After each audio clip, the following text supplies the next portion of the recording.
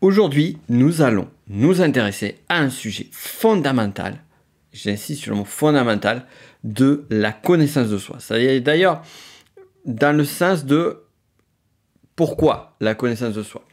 Et on va répondre à la question suivante, c'est pourquoi est-ce que tu dois absolument connaître ton type de personnalité?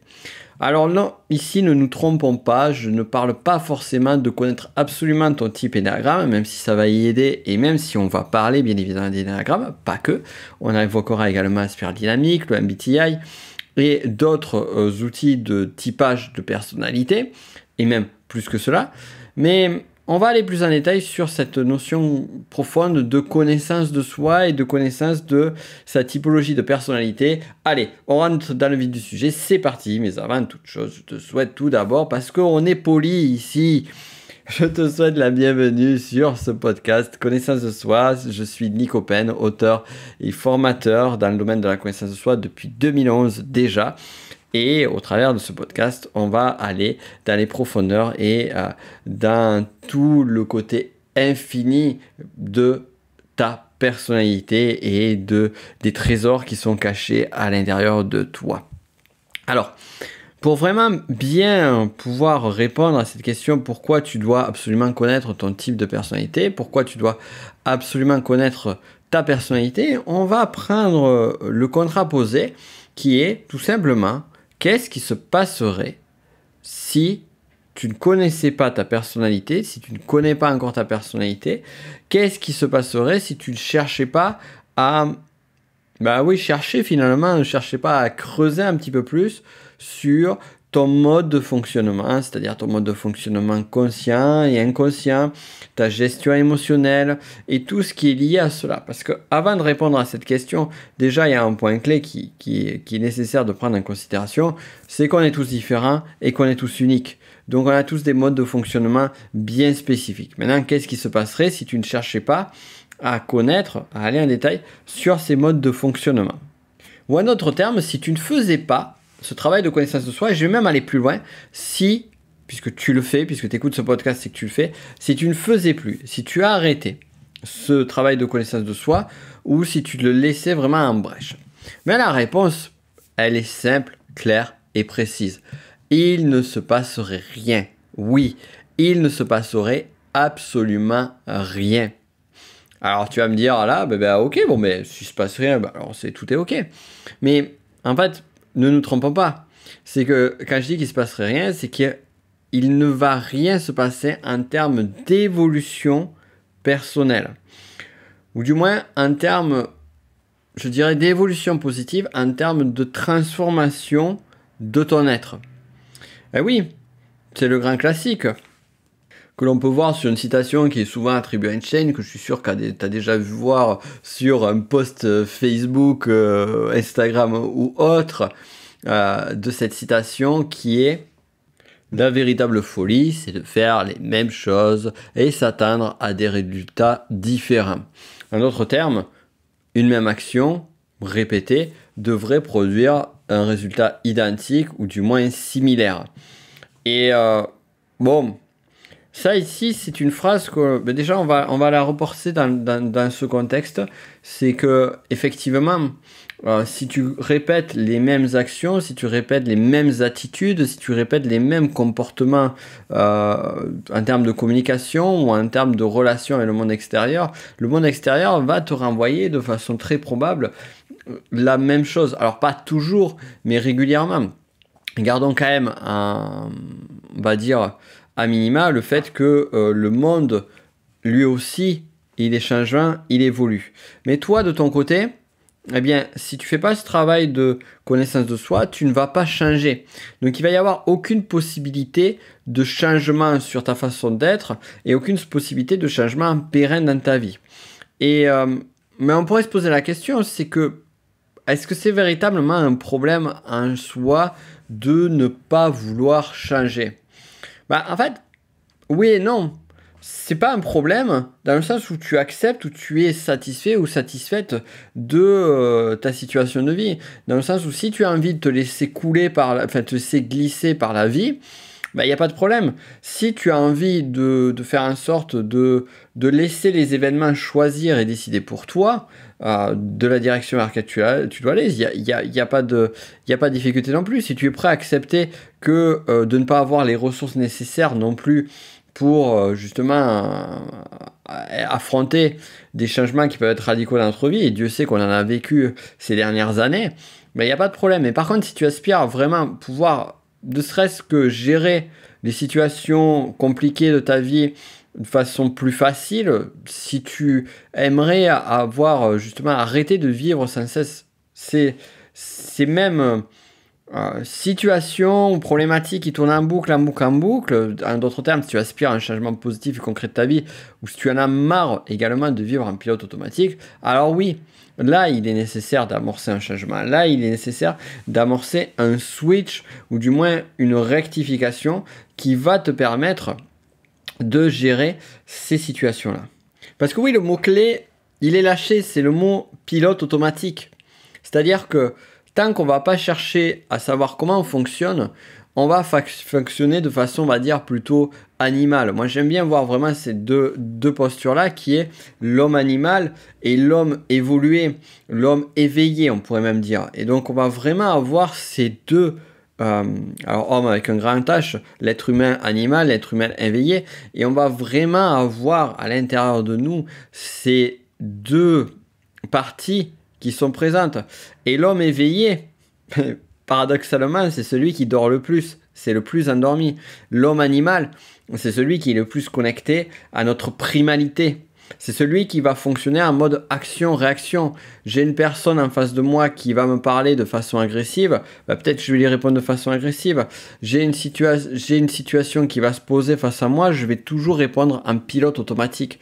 Donc c'est vraiment cette idée pilote automatique.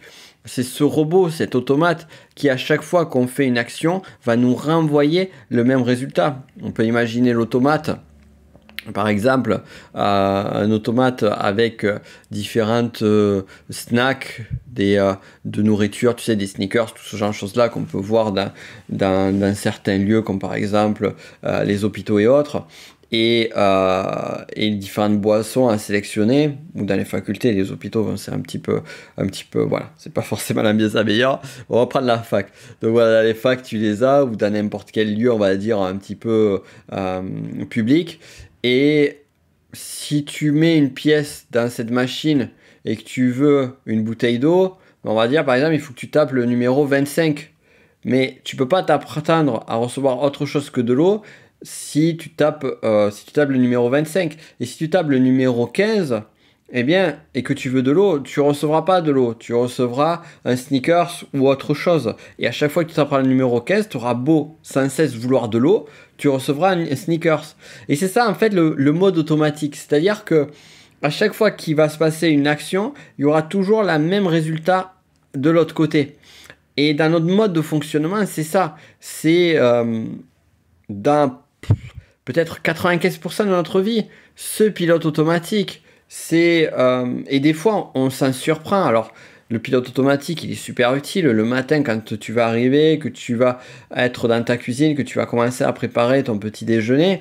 Eh bien, ce pilote automatique, il est, il est, il est cool parce que t'as pas besoin de réfléchir. Tu vas aller à tel endroit, tu vas aller prendre tes céréales ou peu importe ce que tu manges le matin. Tu vas chercher ton bol, tu vas chercher ton verre et tout ça, ça se fait automatiquement. Maintenant, qu'est-ce qui se passe à un moment donné? Si tu te lèves un matin et que, au lieu d'avoir les bols dans un endroit, eh bien, il n'y a plus les bols ici. Et ils se trouvent en fait à la salle à manger. Ben, ce qui va se passer, c'est que, à l'instant T donné, ton cerveau, il va bugger. Si tu vas avoir un moment où tu vas, ah, tu vas pas savoir quoi répondre, tu vas pas savoir quoi faire. Et là, du coup, il va y avoir un besoin d'adaptation. Un besoin d'adaptation qui va te permettre de dire, de reprendre la conscience. Donc on était en mode inconscient, prendre conscience. Ok, il y a situation, la situation me surprend. Donc émotion, surprise. Et là c'est marrant parce que ça démarre toujours par une émotion. Émotion, surprise. De cette émotion surprise, eh bien, constatation.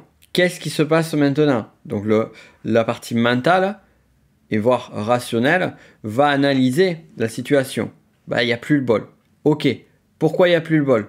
Ah Peut-être parce que quelqu'un l'a déplacé ailleurs. Et quel serait le plus probable? Eh bien que le bol il soit encore resté sur euh, la table de la salle à manger, sachant que on avait utilisé le bol hier soir. Voilà, on a résolu le mystère. D'ailleurs, en parlant de mystère, c'est marrant parce qu'on a fait des, capacités déductives comme la stratégie Sherlock Holmes dont j'avais euh, parlé dans le précédent épisode. Je ne sais pas si tu as écouté, sinon il est toujours disponible, bien évidemment, et je t'invite à écouter, c'est très intéressant. Ceci étant dit, donc là on était en, pilote automatique et à un moment donné on a dû se réadapter. Et cette réadaptation-là a été faite parce que finalement il y avait un niveau de conscience sur un truc très pratico-pratique qui était à un moment donné, j'ai réussi à élever mon niveau de conscience jusqu'à le bol et la salle manger. Mais si j'étais en mode encore plus animal, qu'est-ce qui se serait passé? Ben, j'aurais pas vu les bols et j'aurais même pas cherché à réfléchir. Je me serais mis en colère, j'aurais peut-être râlé, gueulé, crié contre une personne de ma famille. Mais ils sont où les bols? Qui c'est qui a bougé les bols? Qu'est-ce qu'on a foutu avec les bols?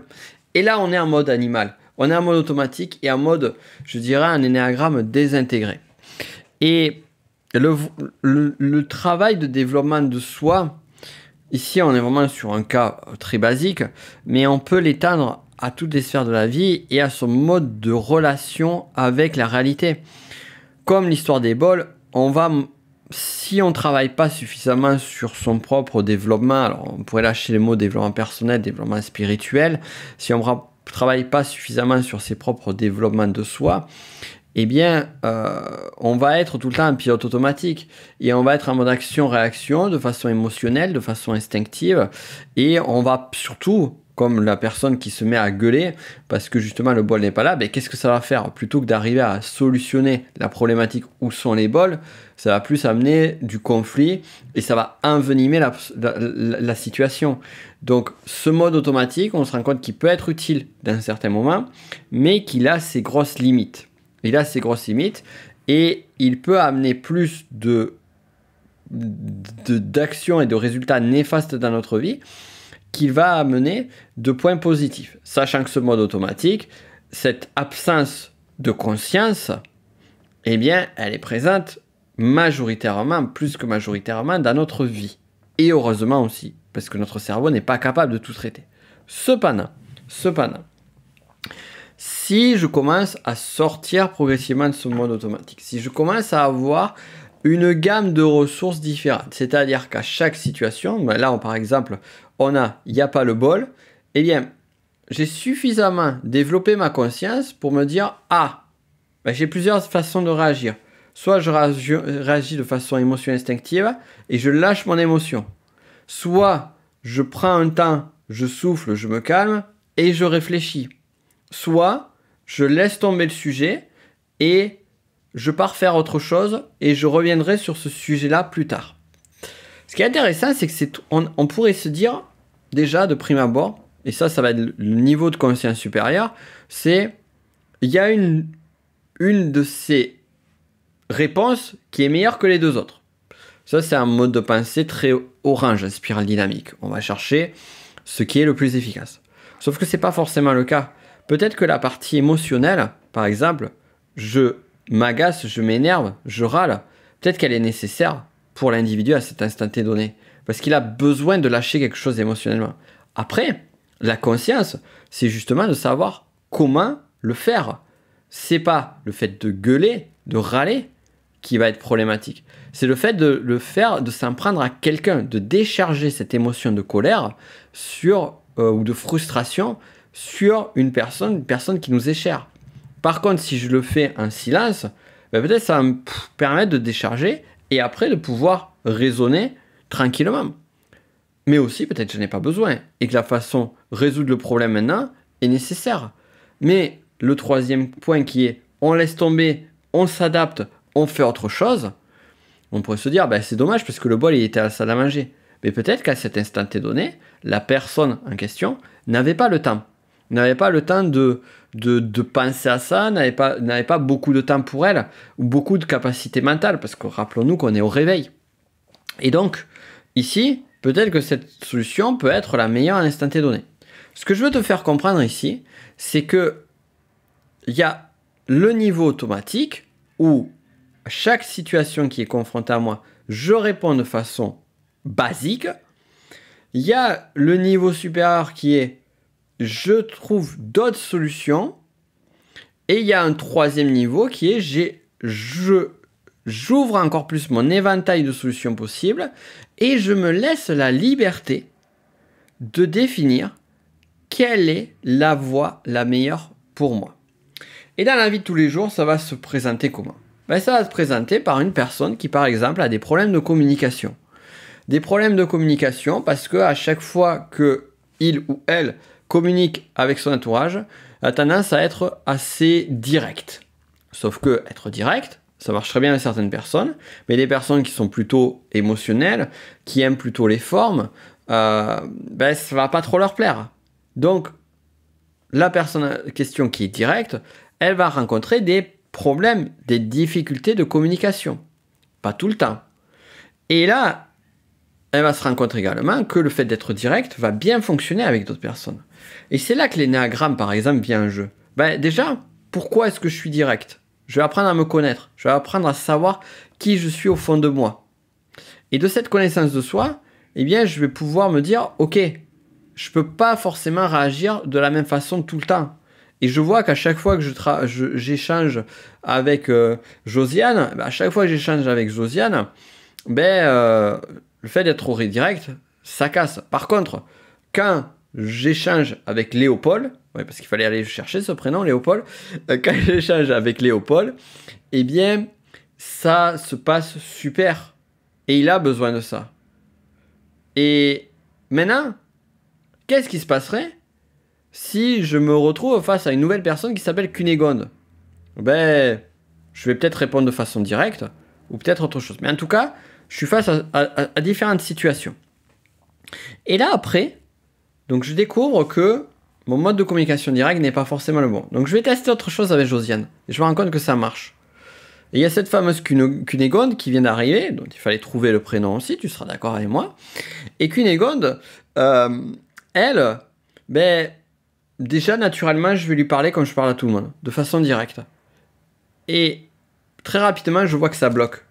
Mais c'est quoi qui me fait comprendre conscience que ça bloque? C'est ma, connaissance de moi. C'est mon niveau de conscience.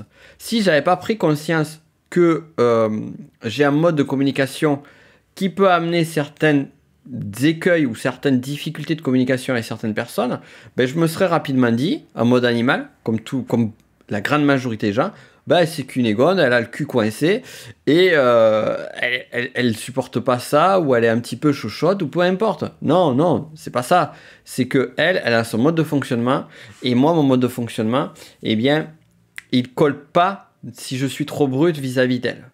Et l'énéagramme va amener également une seconde couche de connaissance, c'est-à-dire la connaissance de soi, mais également la connaissance de l'autre. Et en connaissant un type de personnalité, eh bien, je peux me rendre compte que peut-être qu'Unégonde est quelqu'un de sensible. Peut-être qu'elle est type 4, peut-être qu'elle est type 2, peut-être qu'elle est 9, peu, peu importe. C'est pas la question. La question, c'est se dire, ah, ben, il y a des personnes qui sont plus sensibles que d'autres, il y a des personnes qui aiment le contact direct. Par exemple, si je discute avec certains 8 ou certains 6, ben, ils vont aimer le contact direct, certains 1 aussi, mais pas tous. Et ça, ça va me permettre justement de trouver cette nuance-là.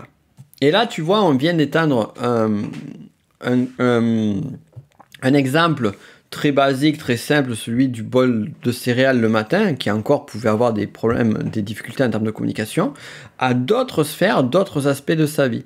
Et chaque fois, quand on regarde, eh bien, à chaque situation, c'est toujours en relation avec comment j'interagis avec le monde extérieur. Mais comment j'interagis avec le monde extérieur dépend de mes modes de fonctionnement par défaut. Et donc, on trouve, on comprend la solution.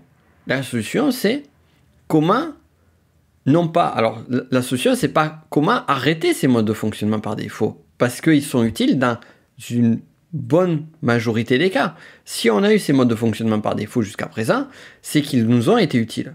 Alors je dis une majorité des cas, j'exagère. Ils ont été utiles dans de multiples cas dans notre vie. Ils sont peut-être, mais Aujourd'hui, peut-être que dans d'autres, ils sont plus néfastes qu'ils ont été aidants. Et c'est là où finalement, on ne va pas imputer la personne de ces modes de fonctionnement, qui sont utiles. Encore une fois, pour l'exemple que je t'ai donné tout à l'heure, le fait d'être direct avec Léopold, eh ben, du coup, c'est positif. Parce que Léopold, il a besoin d'un contact direct. Donc on va pas imputer la personne de ça. On va l'ouvrir à d'autres approches. Mais pour l'ouvrir à d'autres approches, il faut déjà qu'elle ait conscience de là où elle est, du point de départ. Et c'est aussi une des grandes euh, écueils qu'on peut trouver dans le développement personnel, c'est qu'on va avoir des personnes qui vont te dire Ah ouais, moi j'étais comme ça avant, j'étais timide, et parce que j'étais timide, ma vie c'était un enfer. Mais depuis que je suis passé à l'action et que j'ai mis telle ou telle euh, aptitude, euh, ou plutôt telle méthodologie que j'ai appris de A à Z, ma vie a radicalement changé. Fais comme moi, et tu vas voir, ta vie va radicalement changer. Sauf que non, ta vie elle va pas radicalement changer si tu fais comme cette personne-là.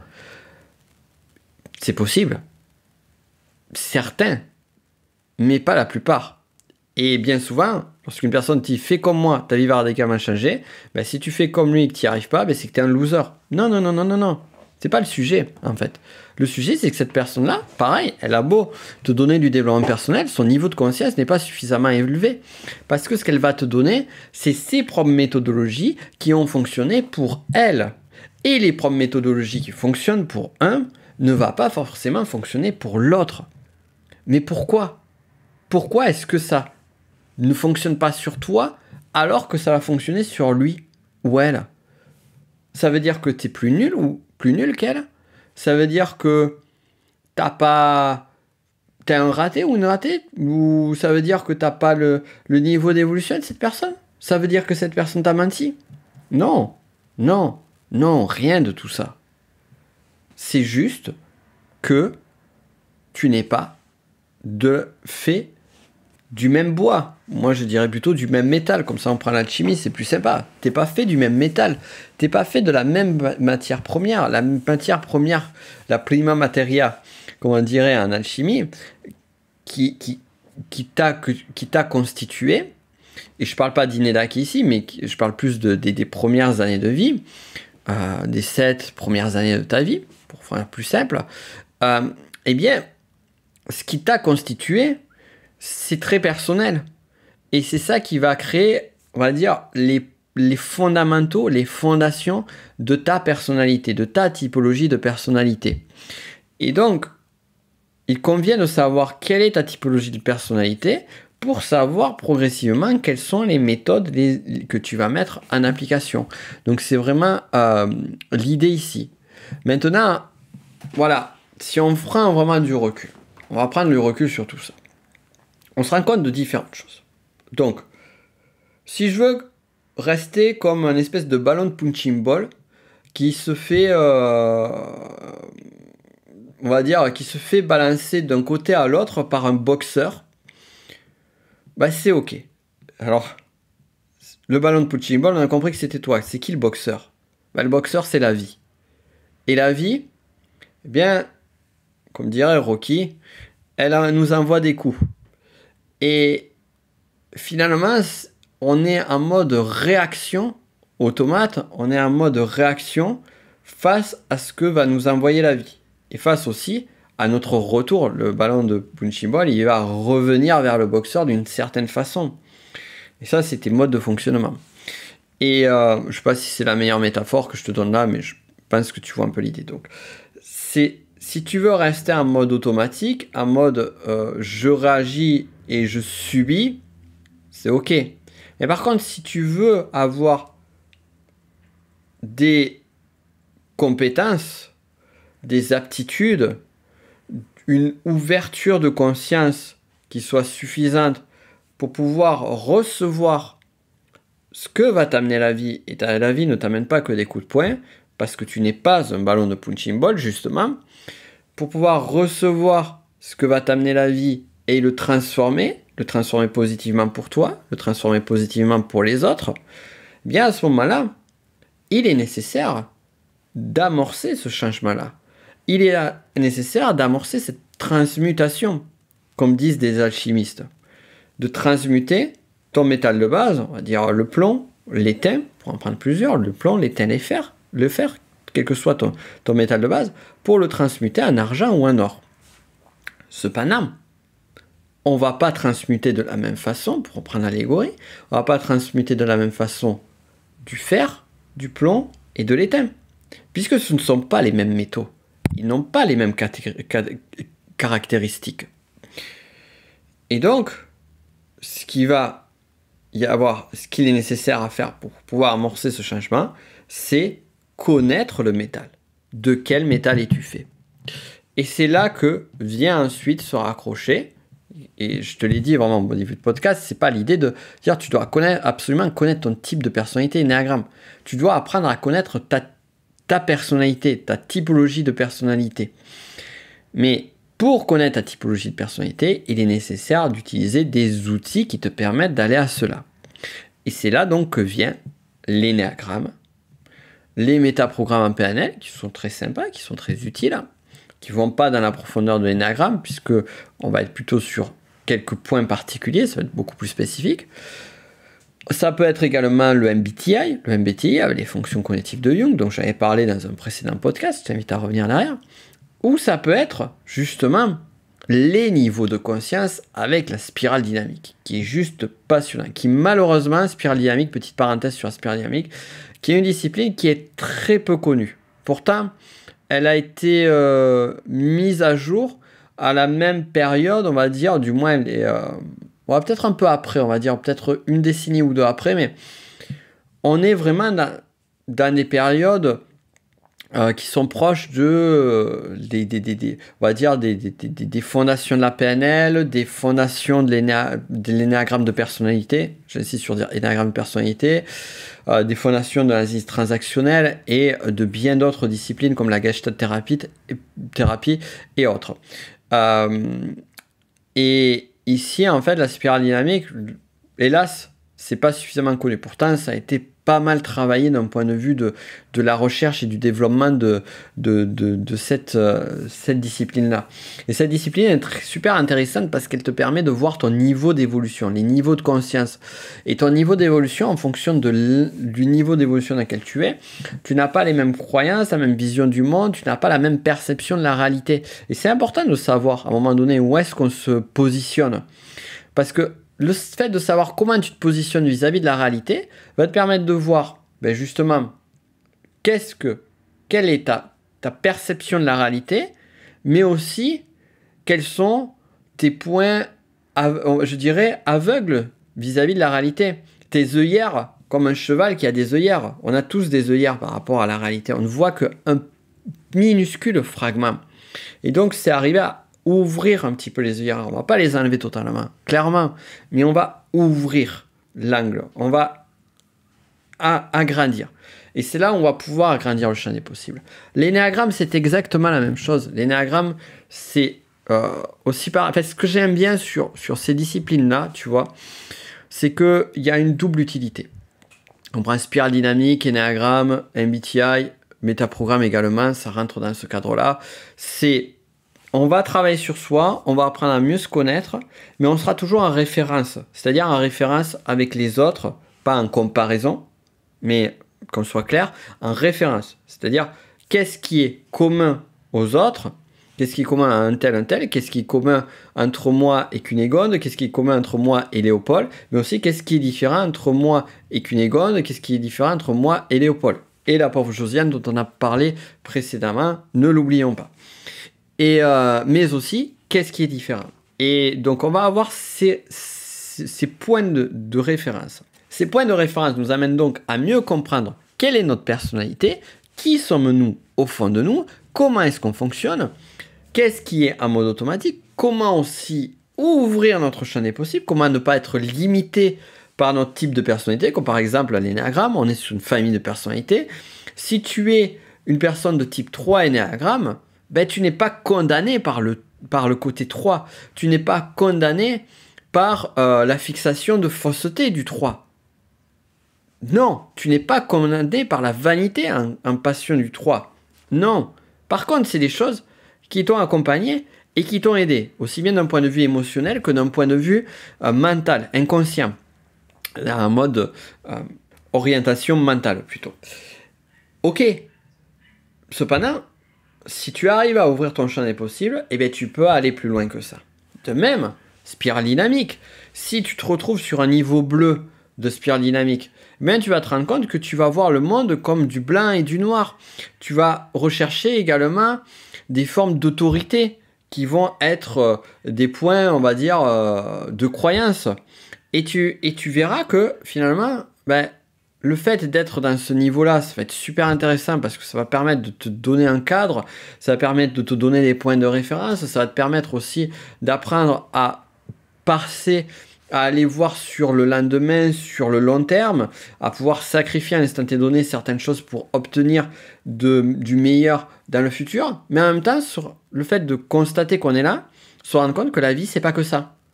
Et que justement, il y a plus de nuances, et qu'il y a plus d'ouverture.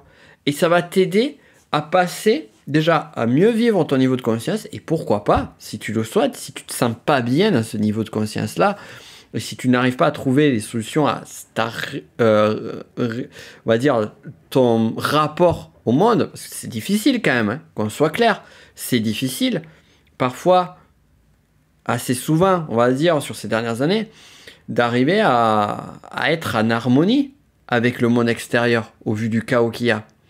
Donc, la spirale dynamique permet de mieux comprendre ce rapport au monde et dès lors de pouvoir s'y adapter et de pouvoir être plus en harmonie.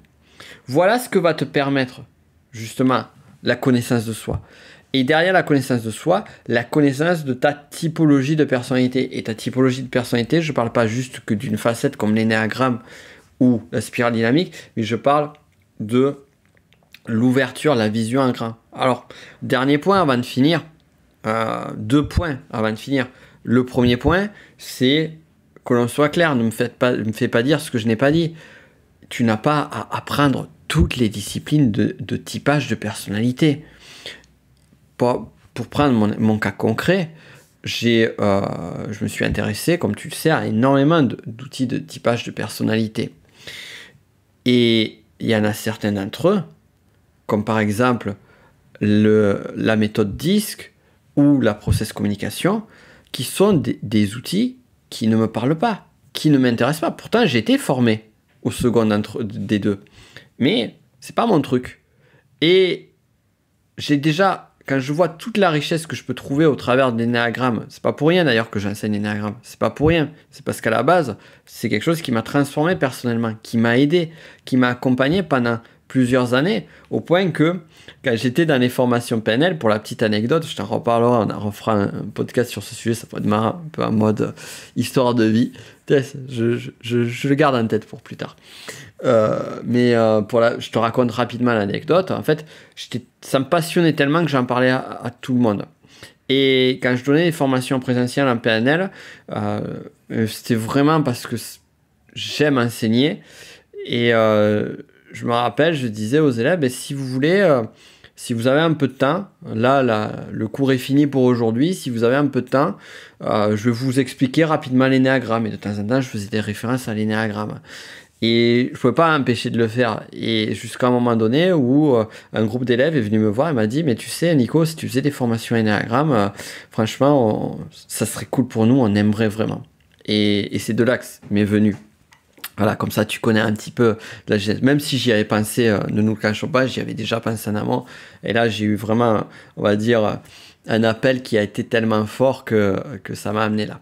Donc voilà, ça a été une passion. Spirale dynamique, c'est pareil. Quand j'ai découvert cet outil, je me suis dit, waouh, c'est peu connu, mais qu'est-ce que c'est puissant ce truc. Et qu'est-ce que c'est fort. Pourtant, on m'en avait parlé déjà euh, quelques années avant. Moi, je dis oui, il faut que je regarde, je vais regarder rapidement. Mais quand je me suis vraiment plongé dedans, waouh, ça a été. D'ailleurs, quand j'y suis plongé dedans, j'ai fait une apnée jusque dans les plus grandes profondeurs et euh, pour pouvoir, euh, j'ai mis du temps avant de remonter la surface. Et quand je suis remonté, je me suis dit waouh, c'est incroyable. Donc voilà. Et, euh, et voilà, c'est des outils parmi tant d'autres. J'ai parlé du MBTI, c'est vrai, ou des métaprogrammes en PNL. c'est vrai que ce sont des outils aussi qui sont très intéressants. Mais tu n'as pas besoin de tout les connaître. Tu as juste besoin déjà, déjà si tu commences à t'en accrocher un ou deux, tu vois, je t'ai cité Enneagram Super Dynamique, t'en accrocher un ou deux et vraiment y aller bien, vraiment y aller en profondeur, euh, vraiment aller euh, t'explorer toi au regard de cet outil-là, commencer déjà par un d'entre eux, t'explorer toi au travers de cet outil-là, ben déjà tu vas détecter énormément de choses. Et rien qu'avec l'énéagramme, tu peux y passer des années rien qu'en faisant que de l'énéagramme et, euh, et, vraiment avoir du travail qui est vraiment chouette sur, euh, sur toi. C'était quand même vrai, c'est vrai que j'ai pas parlé également du thème astral, euh, euh que là aussi c'est un outil qui, qui, qui, a, qui est quand même assez bluffant, qui est surprenant. Moi qui avais une approche très rationaliste, bon il y a quelques années, je me suis rendu compte que le rationalisme il a, il a ses limites, mais et justement le thème astral, et Dieu sait que je connais justement les différents biais cognitifs, euh, le thème astral, ça m'a surpris quand euh, j'ai fait mon thème astral avec Carla notamment. Et, euh, donc là aussi, on a sur un outil de connaissance de soi qui, qui, est incroyable, qui est incroyable. Et tout ça pour te dire que, et pour finir, pour conclure là-dessus au mieux, si tu veux aller plus loin, justement, si tu veux les connaître, si tu n'es pas déjà élève du Tech et, ou de spirale dynamique, ou encore de la formation connexion à l'invisible que l'on fait avec Carla, justement sur lequel elle t'enseigne euh, les, des concepts clés par rapport euh, à justement la partie astrologique au, regard de ton thème, eh bien, euh, je t'invite à regarder les liens. Tu les as tous dans la description. Il n'en manque pas un. Il faut juste, seule petite limite, c'est est-ce que les masterclass sont disponibles ou pas. Bon, ça, tu le verras par toi-même. Euh, et euh, ça a été un plaisir. J'espère que ce podcast aura pu t'aider au maximum. Si tel cas, n'hésite pas à le partager. N'hésite pas à parler au maximum aussi de ce podcast. Je ne dis pas suffisamment connaissance de soi. C'est comme ça que euh, ça permet d'ouvrir au maximum la connaissance à ce sujet à plein de personnes. Et puis en plus, il y a plein d'épisodes qui sont gratuits et qui, je, j'imagine, si tu l'écoutes jusque-là, t'ont aidé, te parle et qui parlera forcément à des personnes de ton entourage. Donc, fais passer le mot. Et sur ce, je te souhaite le meilleur. Et on se dit à très vite, à la semaine prochaine déjà, pour un autre podcast. Ciao